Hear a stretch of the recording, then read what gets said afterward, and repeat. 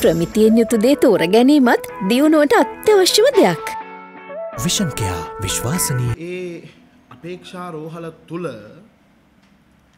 රෝහලේ පරිපාලනයට පරිබාහිරව මේ රෝහලේ නමින් ගිනුමක් පවත්වාගෙන යන පුද්ගලයෙකු පිළිබඳ හෙළිදරව් කිරීමටත් මේ පුද්ගලයා සම්බන්ධයෙන් බොහෝ පැමිණිලි කළා තියෙනවා.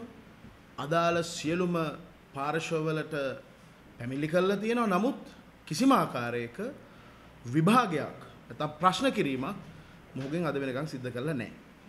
ඒ නිසා පළමුවෙන්ම මතක් කරන්න ඕන මේ අපේ මැදිහත් වීම එහෙම නැත්නම් මේ හෙළිදරව්වෙන් කිසිම ආකාරයක ಜಾති ભેදවාදයක් උදෙසා පාවිච්චි නොකට යුතු සිද්ධියක් හැට මම මේක සලකන්නේ මොකද අපි මොන දේ කතා කළත් මුස්ලිම් පාර්ශවයක් ගැන කතා කළොත් ඔන්න ಜಾතිවාදය අවසනවයි කියලා චෝදනා නගනවා. ඒ නිසා මේ මුස්ලිම් සමාජයට එල්ල කරන චෝදනාවක් නෙවෙයි මුස්ලිම් පුජ්‍යලයෙක් විසින් කරන සාහසික කැත නින්දිත තුච්ච අමන අමනෝඥ තක්කඩි ම්ලේච්ඡාකාරයේ අමු අමුවේ කරන වංචා සහගත ක්‍රියාවක් සම්බන්ධයෙන් දැනුම්වත් කරන්නයි හදන්නේ. මේ මීට පෙර ආතුවත් මේ සිද්ධිය සම්බන්ධයෙන් අපේක්ෂා රෝහලේ අධ්‍යක්ෂකවරයා හෙළිදරව් කිරීම ගණනාවක් කළා. පහුගිය ආණ්ඩුව කාලෙත්. ඒ ඊට අදාළ ඇමතිවරු බොහෝ අවස්ථාවල ඔහුට තර්ජනය කොට තිබුණා.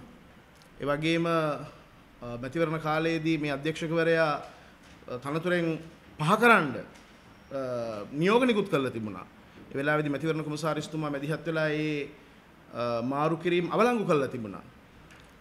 ඉතින් අපට නොතේරෙන දේ තමයි මේ කොයි ආණ්ඩුව ආවත්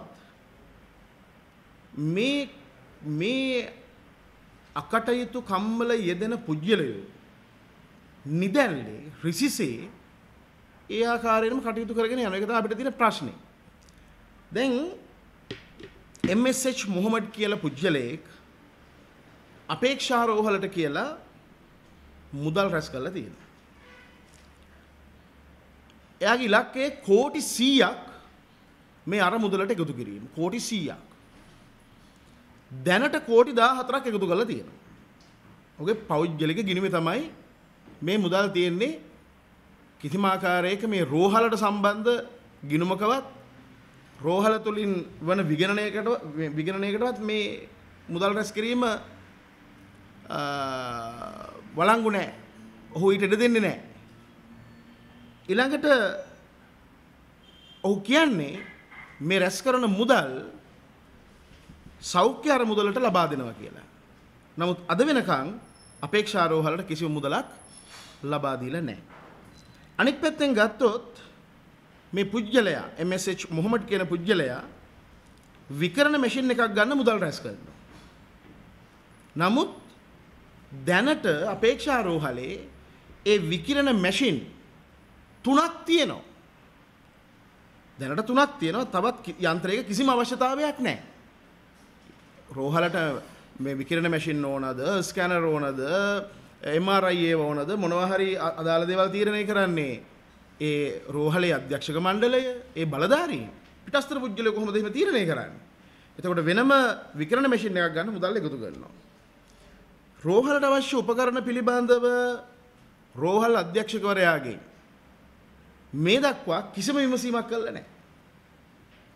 ඔහුගේ අනුදැනුමකින් තොරව තමයි මේ මැෂින් වලට මේ මැෂින් එකට මුදල් එකතු කරන්නේ තර කෝටිසියේ අර මුදල් එකතු කරන්නේ. ඒ විතරක් නෙවෙයි කිසිම විනිවිද භාවයක් මේ මුදල් රැස් කිරීම සම්බන්ධයෙන් නොමැති හින්දා අවස්ථා ගණනාවක උදාහරණයක් විදිහට 2019 දෙසැම්බර් මාසේ 17 වෙනිදා පොලිස් පත්තුමාට යොමු කරලා තියෙනවා. විකිරණ යන්ත්‍ර මිලදී ගැනීමට ඒ කියා MSM මොහමඩ් නැමැත්තා විසින් රුපියල් කෝටි 100ක් එකතු කිරීම. දැන් අපි අහනවා ඒකේ පොලිස් පත්තුමාගෙන් මේකට ගත්ත ක්‍රියාමාර්ගය මොකක්ද? එතකොට මේ සිද්ධිය සම්බන්ධයෙන් මාධ්‍ය නිවේදනයකුත් නිකුත් කරලා තියෙනවා. මේ Uh, transparency International අ, ශ්‍රී ලංකා ආයතනයේ. එතකොට ඒ විතරකුත් නෙමෙයි රෝහල් අධ්‍යක්ෂකවරයාට එරෙහිව රෝහල් අධ්‍යක්ෂකවරයාට එරෙහිව මරණ තර්ජනය කළා තියෙනවා. තමුන්ගේ කාර්යාලයේ පුපුරවාහරණ බවට තර්ජනය කළා තියෙනවා. ඒ වගේම අ, ජනාධිපතිවරයාට මේ සම්බන්ධයෙන් වර්තමාන ජනාධිපතිවරයාට මේ සම්බන්ධයෙන් දැනුම් දීලා තියෙනවා.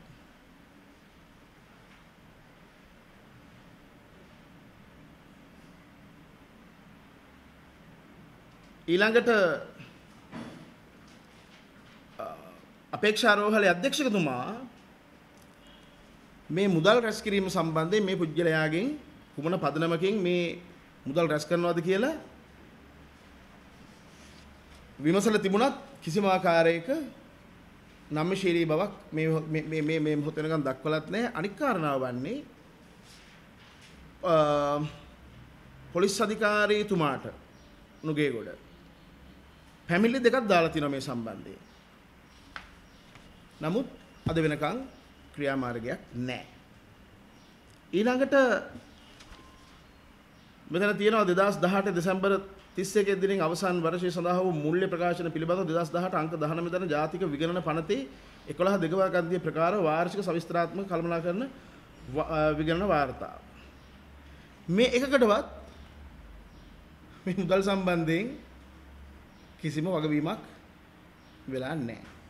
ඒක බරපතල ප්‍රශ්නයක් මොකද මේ මේ වගේ අපිට කොපි දෙන්න පුළුවන් හැම කෙනෙකුටම ප්‍රශ්නේ තියෙන්නේ ඊටාම සංවේදී ස්ථානයක් මම මුලින් මතක් කළා වගේ අපේක්ෂා රෝහල මේ ජීවිතේ ඉල්ලා හඬන මිනිස්සුන්ට මේ මිනිස්සුන්ගේ දුක් වේදනාවන් ඊටාම නරක විදිහට වංචනිකාකාරයෙන් පාවිච්චි කළා මේ පරිපාලනයත් එක්කත් හැපෙන මොහොමඩ් කවුද? කවුද ඔහු? කාගේ බලයකින්ද එයා වැඩ කරන්නේ? එයාගේ පිටි පිටිපස්සේ ඉන්නේ කවුද? මෙලට මිනිස්සුන්ට අතීත අත්දැකීම් මතක තියෙනවා. හොඳම දේ තමයි හොඳම දේ තමයි 2014 ඉඳලා 2019 වෙනකොට මේ පුද්ගලයා දැන් අතිවිශාල ධනපතියෙක්. කොහොමද මේ ධනපතියෙක් උනේ? මොනවද ඔහුගේ ව්‍යාපාර? ඒක කොහෙද ලියාපදිංචි කරලා තියෙන්නේ? කොහෙද මේ මුදල් තැන්පත් කරලා තියෙන්නේ? කායකද ගණ ගණදිනු කරලා තියෙන්නේ? කවුද හවුල්කරුවෝ? ඒක හොයන්න ඕනනේ. අපිට පාස්කු ප්‍රහාරය අමතක නැහැ. ආ, මේවා මේ කළු ස- මේ මේ මේ ත්‍රස්තයින්ගේ සල්ලි සුදු කරන අ, වැඩ පිළිවෙල වෙන්නත් බැරි නෑ. මොකටද මේ සල්ලි? ආ නෑ මේ විකිරණ යන්ත්‍රයට. හරි සංවේදී තැනක් නේ. සල්ලි හංගන්න පුළුවන් කැලෑවල් මේ.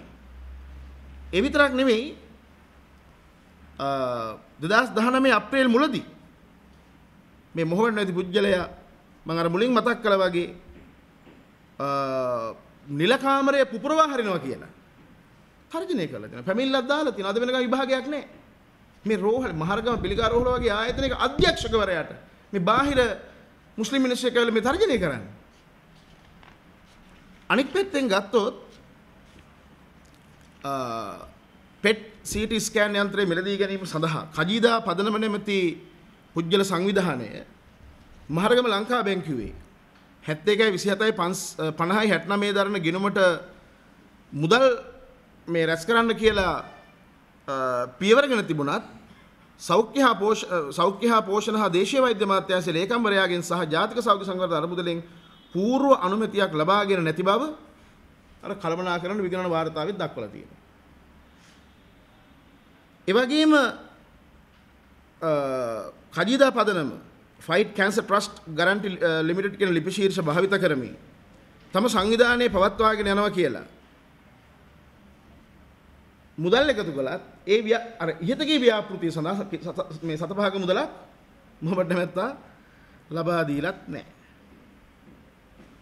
අනික් කාරණේ තමයි ওই පහුගිය කාලේ ලොකු අ, කතා බහක් ඇති වුණා සමාජය ඇතුළේ මේ පෙට් CT ස්කෑන් යන්ත්‍රය ඇයි මේ ප්‍රමාද කරන්නේ ඔ- ඔය අතන මතක ඇති.